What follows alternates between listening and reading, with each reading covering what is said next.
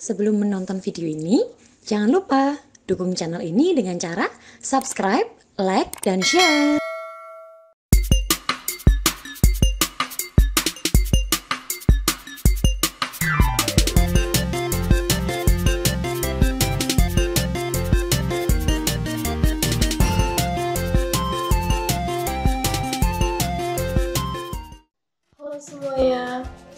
Assalamualaikum warahmatullahi wabarakatuh Di video kali ini kelompok kami akan membahas mengenai Windows 7 Mulai dari cara instalasi, fitur-fitur menarik, tips and trik, serta Bisa dan worth it nggak sih Windows 7 digunakan untuk zaman sekarang? Penasaran? Let's get it!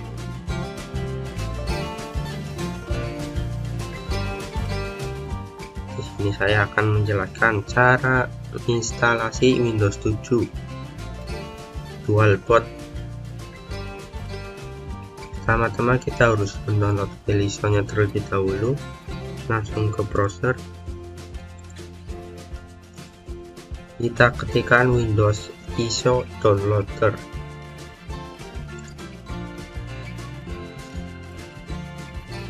Kita pilih yang di website hidoc.net kemudian kita scroll ke bawah. Lalu langsung klik download. Windows ISO downloader.x kita buka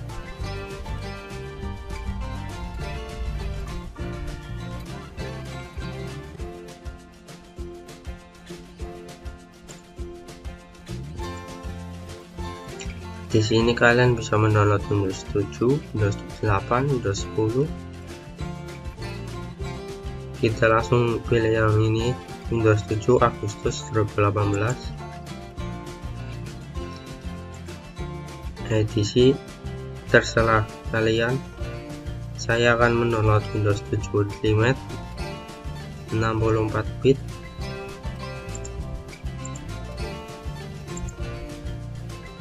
kita klik download. Kemudian langsung mendownload. Kita tunggu. Oke kita sudah selesai mendownload. Kemudian file ini kita taruh di USB atau CD kita cek dulu di download.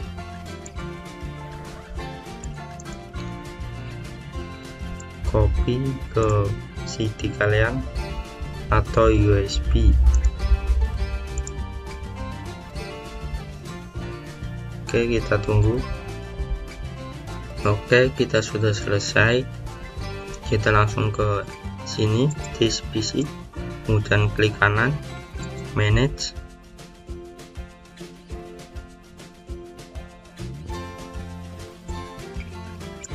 Kita klik disk management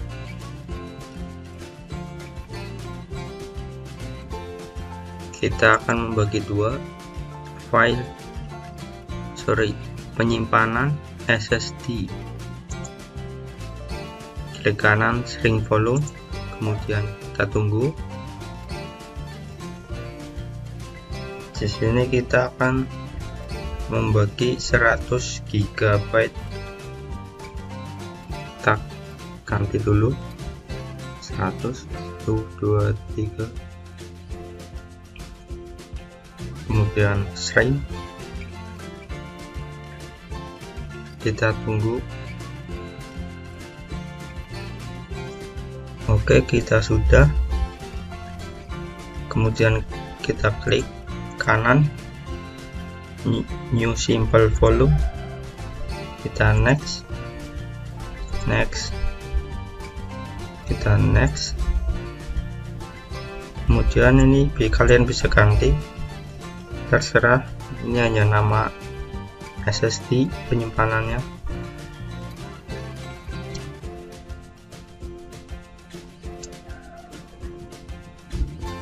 Kita next. Kemudian finish. Kita tunggu sebentar. Sudah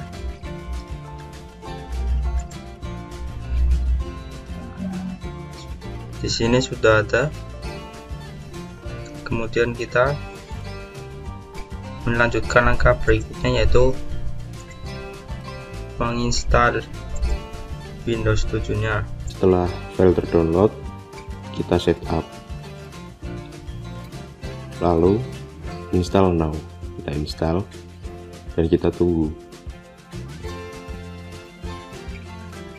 Tadi setelah menunggu secara otomatis sudah install Windows 7 nya ini ada dua pilihan Windows 10 yang bawaan laptop apa yang Windows 7 yang baru di download dan diinstal di laptop. Lalu klik Windows 7 enter. Setelah itu start Windows normally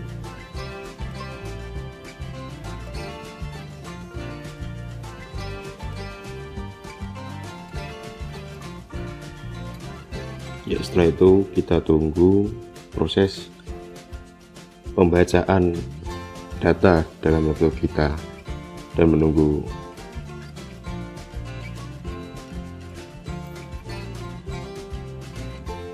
Setelah menunggu proses sekian lama pada proses pembacaan data di laptop kita ya kita akan ditampilkan seperti ini. Karena saya sudah punya Windows account maka saya akan masukkan password saya.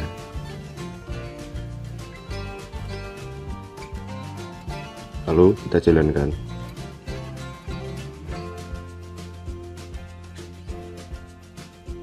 Ya sudah. Selesai. Windows 7 bisa digunakan. Tampilan dari Windows 10 sudah berubah ke Windows 7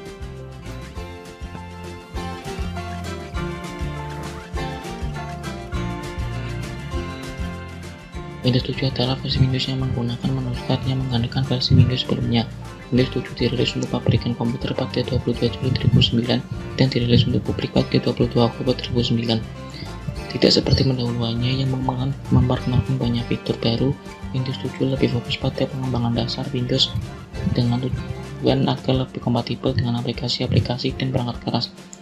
Presentasi Microsoft tentang Windows 7 pada tahun 2008 lebih fokus pada dukungan multitouch pada layar, desain ulang touchbar yang sekarang dikenal dengan nama Superbar, sebuah sistem jaringan rumahan bernama Home Group, dan peningkatan performa. Windows 7 sangat ringan dan simpel, artinya Windows 7 tidak membuat komputer menjadi lemot. Berbeda dengan Windows 10, cukup membuat komputer menjadi lemot. Windows 7 dirancang dengan cukup baik dan pengaturan tampilan yang lebih sederhana dan tidak terlalu berat penggunaan resource-nya, walaupun tampilannya mewah dengan efek transparansi. Windows 7 tidak masalah menjalankan driver dan program-program lama yang didesain untuk Windows XP. Walaupun berusia tua, masih banyak program yang bisa dijalankan di OS ini. Untuk update masih bisa diatur, masih bisa menghindar, tidak seperti Windows 10 yang terkadang update secara otomatis.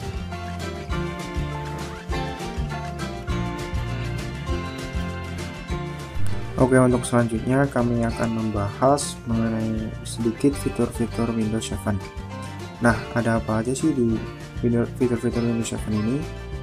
Untuk videonya tinggal disimak. Yang pertama ada BitLocker. Jadi BitLocker ini bisa didefinisikan sebuah fitur enkripsi yang terdapat di dalam sistem operasi Microsoft Windows Vista, Windows 7, dan Windows Server 2008 jadi fitur ini berfungsi untuk melindungi data dengan memberi inskripsi terhadap keseluruhan partisi uh, pada Windows Vista dan Windows 7. Perangkat lunak ini hanya tersedia di edisi Ultimate dan Enterprise dan tidak ada pada edisi-edisi lainnya. Nah, bagaimana sih langkah-langkahnya untuk melakukan hmm, ini? Jadi yang pertama Anda harus klik Start menu, kemudian Control Panel, nah di situ kemudian anda akan sistem and security kemudian di situ terlihat ada bitbot and, and encryption. Kemudian anda uh, klik bagian turn on BitLocker lalu tampilannya akan seperti ini. Oh ya kalau komputer memenuhi syarat untuk menjalankan BitLocker anda akan diminta mengatur pin anda membutuhkan PIN setiap kali komputer mengalami restart. setelahnya komputer akan restart untuk memulai proses enkripsi. Ya, untuk fitur-fitur selanjutnya ada problem step recorder. Uh, jadi problem step recorder ini berfungsi untuk merekam aktivitas yang dilakukan oleh penggunanya, mulai dari arah kursor dan semua aktivitas yang sedang dijalankan. Untuk langkah-langkahnya, Anda bisa uh, klik tombol gabungan di Windows R, kemudian kotak share akan terbuka dan ketikkan perintah PSR, kemudian klik OK dan step recorder akan berjalan normal setelahnya. Kemudian untuk fitur selanjutnya ada good mood. Jadi good mood ini adalah sistem manajemen data yang bisa dilakukan lewat satu pintu yang bisa.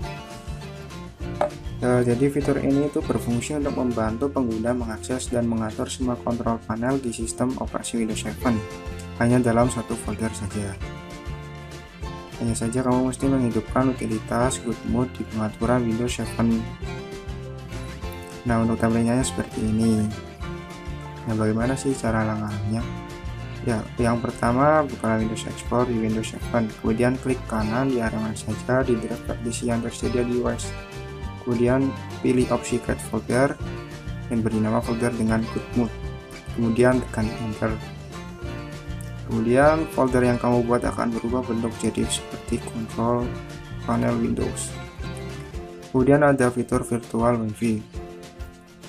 Jadi fitur ini membantu kamu bertindak sebagai host WLAN utama dan berbagi akses ke pengguna lain. Fungsi utamanya adalah membantu anda berbagi koneksi internet dengan komputer lain.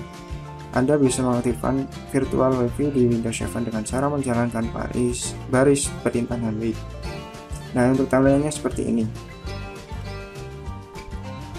Nah, untuk langkahnya, yang pertama buka command prompt dengan menjalankannya di mode administration di Windows 7. Command prompt bisa diakses dengan membuka start menu, kemudian aksesoris kemudian ubah konfigurasi tampilan hoster dengan perintah berikut. Cara ini akan menciptakan sebuah titik akses dengan SSD bernama coba buka kontrol panel kemudian pilih opsi networking pilih tampilan ethernet atau wifi biasa kemudian aktifkan mode sharing pilih tampilan hoster kembali ke command prompt dan aktifkan visual wifi dengan mengaktifkan baris kemudian ada fitur Windows Share. Secara default Windows 7 mengingat permintaan pencarian yang sudah dilakukan melalui fitur Windows Search. Jadi semisal Anda mencari file dengan ekstensi PDF, maka jejak pencarian yang Anda lakukan sekarang akan ditampilkan di sesi pencarian berikutnya. Jika ternyata Anda berbagi visi dan tidak ingin semua orang melihat pencarian Anda, solusinya cukup dengan menonaktifkan fitur ini di pengaturan Windows Search. Melalui fitur ini, rekam jejak aktivitas di komputer Anda akan tetap terlindungi. Jadi ini tampilannya. Oke, mungkin itu saja penjelasan sedikit mengenai fitur-fitur Windows 7.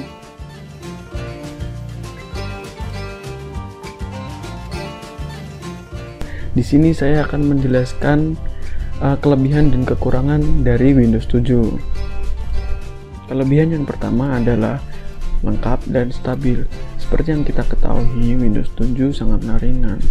Karena dari itu, Windows 7 sangatlah stabil dan kompatibilitasnya dengan software pihak ketiga sangatlah tinggi. Kelebihan yang kedua adalah tampilan yang sangat mudah dipahami. Karena tampilannya sangat sederhana, Windows 7 sangatlah mudah untuk dipahami dan dipelajari. Kelebihan yang ketiga adalah hemat baterai. Pasalnya, Windows 7 dikenal lebih hemat daya dalam penggunaan ruang memori, RAM, hard disk, ataupun baterai. Nah, sekarang mari kita bahas kekurangannya.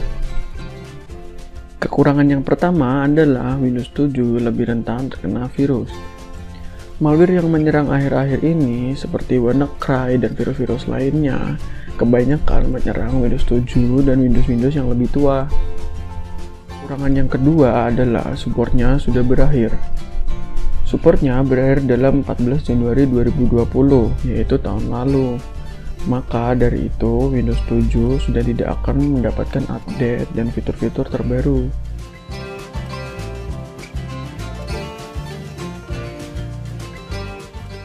saya akan membahas tentang perbandingan Windows 7 dan Windows 10. Yang pertama yaitu perbandingan antara kompatibilitas perangkat lunaknya.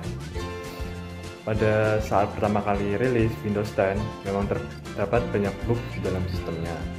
Namun, dengan adanya pembaruan, masalah kompatibilitas ini dapat teratasi sebagian, meskipun ada beberapa lunak yang tidak bisa menginstal Windows 10 tersebut. Nah, sistem Windows 7 ini juga memiliki kompatibilitas yang lebih baik karena banyak perangkat lunak dan hampir semua perangkat lunak bisa menginstal Windows 7 ini karena kompatibilitasnya Windows 7 yang lebih baik daripada Windows 10. Kemudian yang kedua yaitu perbandingan antara konfigurasi perangkat kerasnya. Memang pada Windows 10, persyaratan untuk konfigurasi hardware itu relatif tinggi dalam penggunaan hal CPU Windows 7, Windows 10 itu memang lebih baik secara sistem dibanding Windows 7 selain itu Microsoft itu juga mementingkan kecepatan boot dan sistem Windows 10 nah itu sebagai alasan kenapa Windows 10 itu termasuk yang lebih baik meskipun masih ada beberapa bug dan sistem yang kurang baik di Windows 10 namun, Windows 7 juga jauh lebih baik daripada Windows 10 dalam hal kontrol memorinya. Kemudian yang ketiga, yaitu perbandingan dan perbedaan Windows 7 dan Windows 10 pada stabilitasnya. Memang Windows 10 masih banyak bug dalam sistemnya dibanding Windows 7. Stabilannya pun masih kurang baik, khusus untuk pekerjaan dan kantoran, kurang nyaman digunakan Mungkin sebagian besar bug telah diperbaiki juga sebagai untuk memperbaiki sistem Windows 10 itu.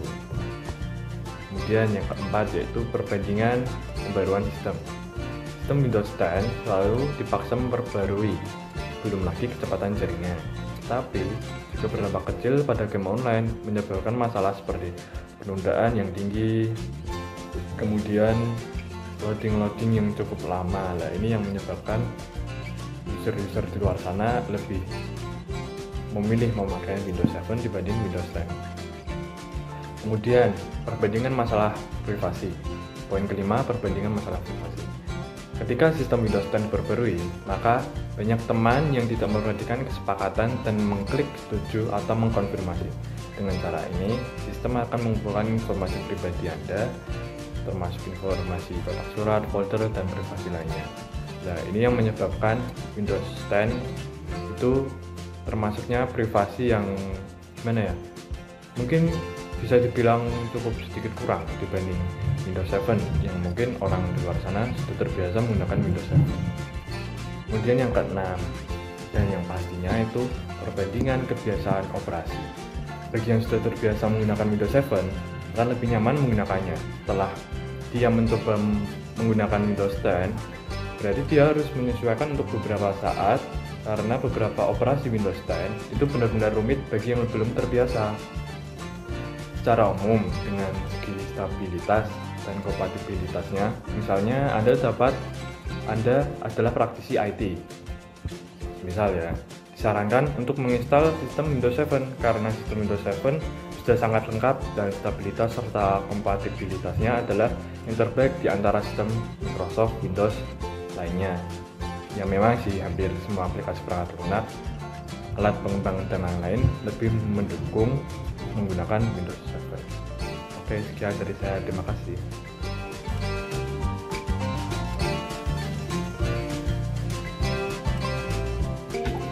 Ya, di sini kita akan membahas tips and tricks menggunakan Windows 7. Yang pertama, membuka komputer dengan lebih cepat.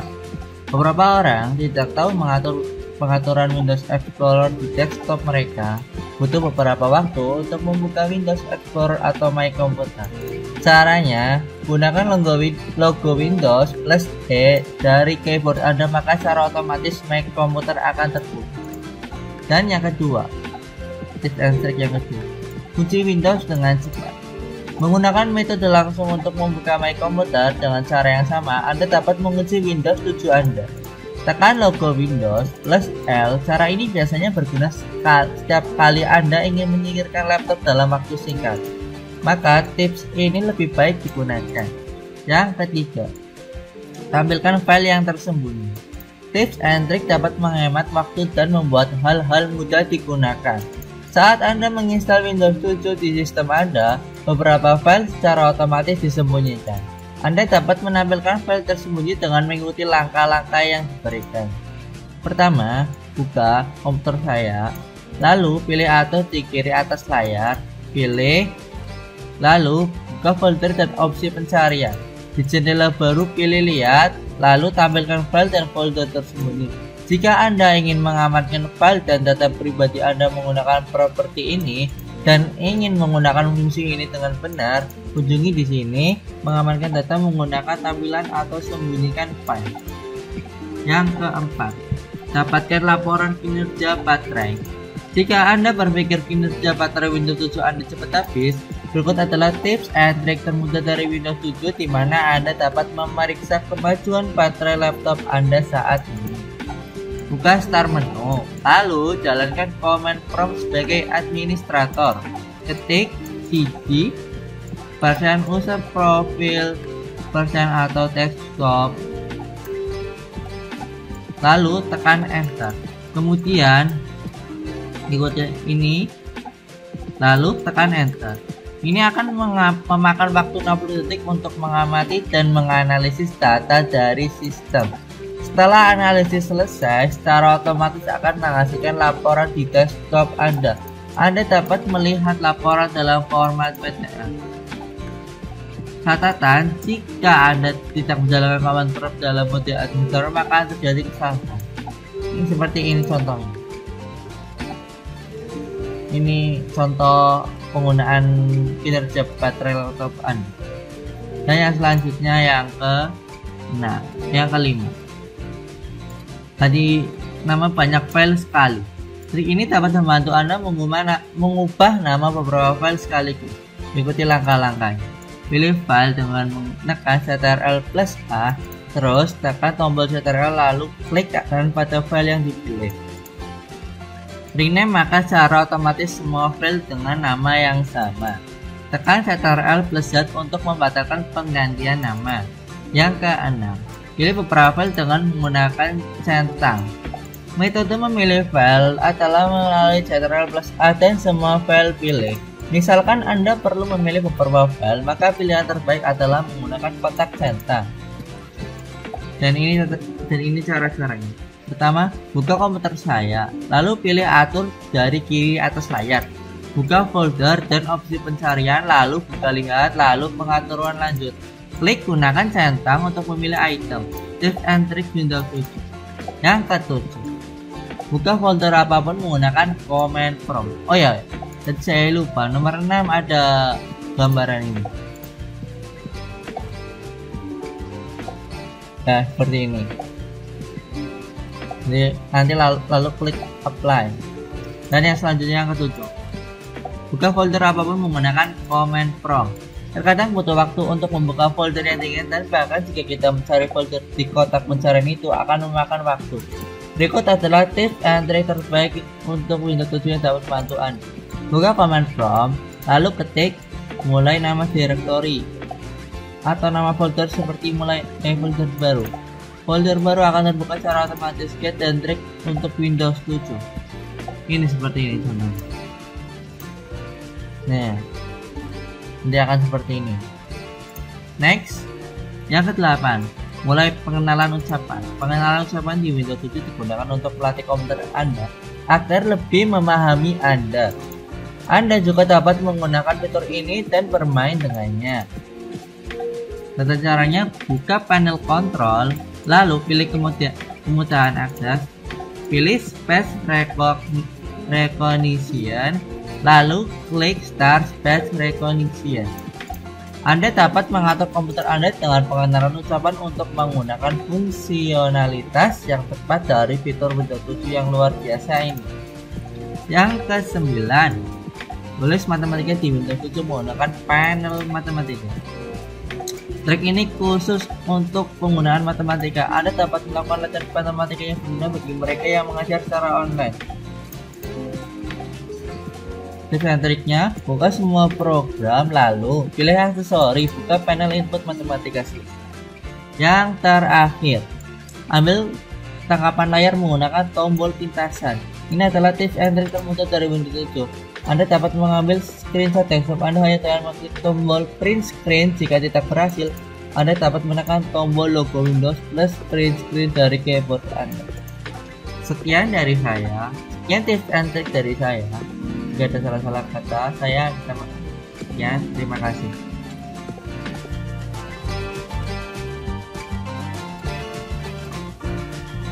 Pada kali ini saya akan menjelaskan tentang apakah Windows 7 masih layak digunakan sebagaimana yang telah saya ketahui dari situs resmi Microsoft seputar tentang Windows 7 di mana Microsoft telah memberikan pernyataan bahwasannya dukungan untuk Windows 7 telah berakhir. Keputusan ini artinya bahwa OS Windows 7 sejak saat itu pula dan untuk ke depannya tidak lagi mendapatkan akses guna memperbarui perangkat lunak secara online.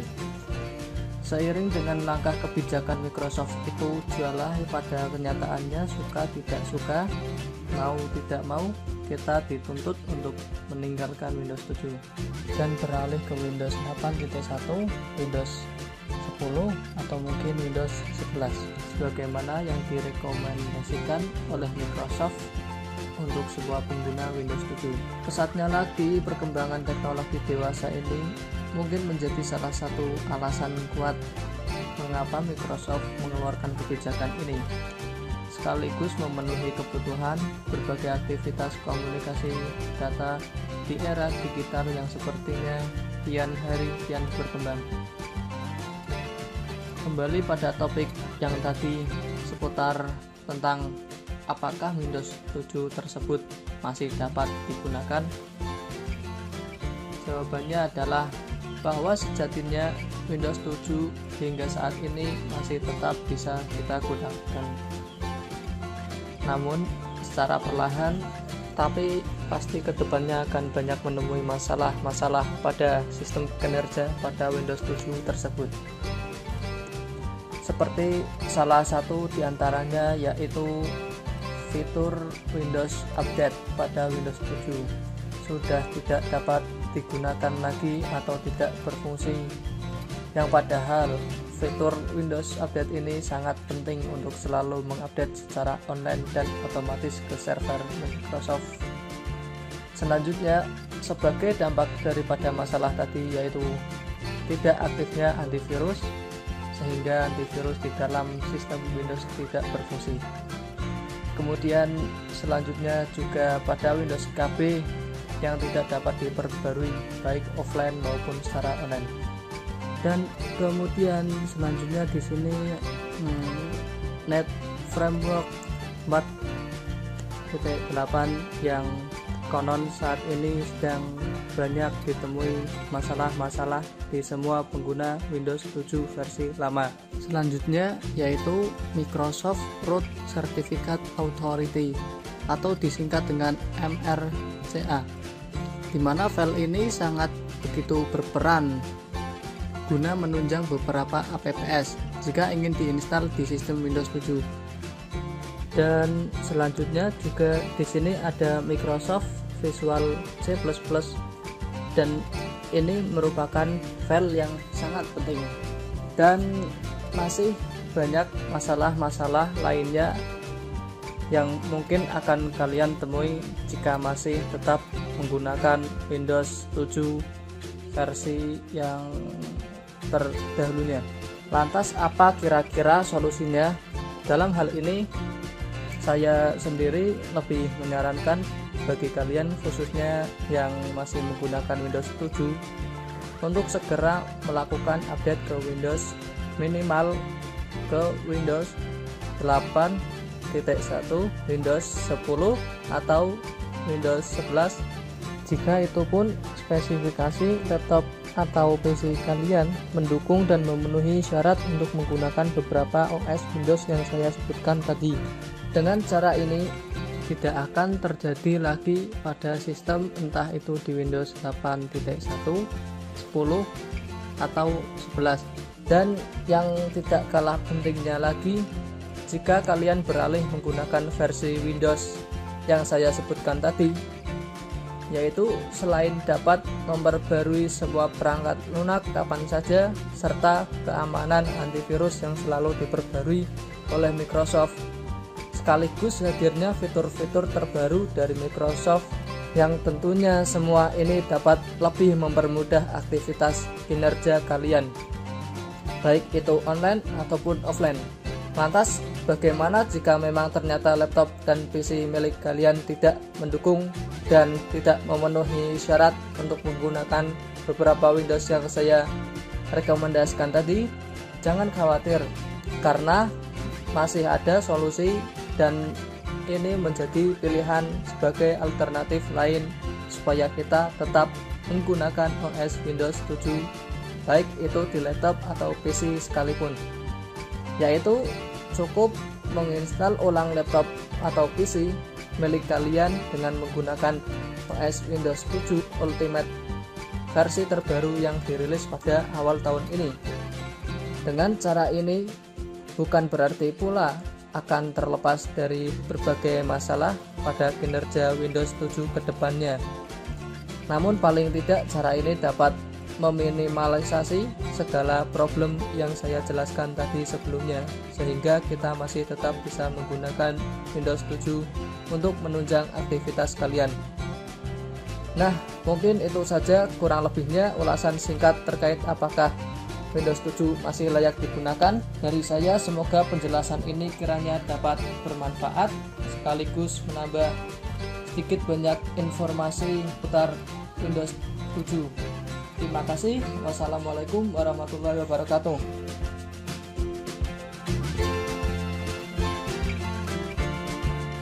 Ya teman-teman, itu tadi pembahasan serta tips and trick mengenai penginstalan Windows 7 teman-teman pasti memiliki banyak sekali pertanyaan. Seperti misalnya, apakah Windows 7 masih bisa digunakan atau apakah aman menggunakan Windows 7? Untuk sekarang, kami rasa masih worth it menggunakan Windows 7. Untuk keamanannya, kami rasa masih aman menggunakannya teman-teman. Oke, sekian dari kelompok kami tentang pembahasan Windows 7. Bila ada salah kata, mohon dimaafkan teman-teman. Saya mewakili rekan-rekan kelompok mengucapkan terima kasih atas perhatiannya. Wassalamualaikum warahmatullahi wabarakatuh. Terima kasih teman-teman.